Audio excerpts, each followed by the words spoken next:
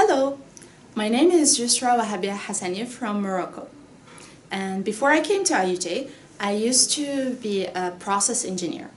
And now I got my MBA degree from this school.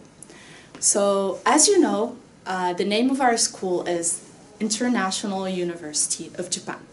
And let me tell you this, you will never find a place that's more international as IUJ.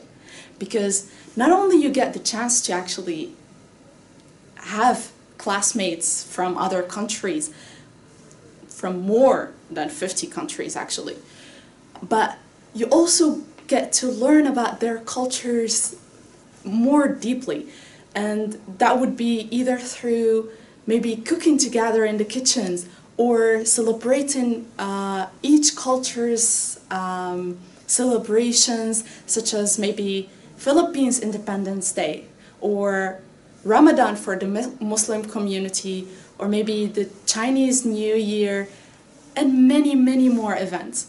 And that is what's really special about this school because you really get the international management experience.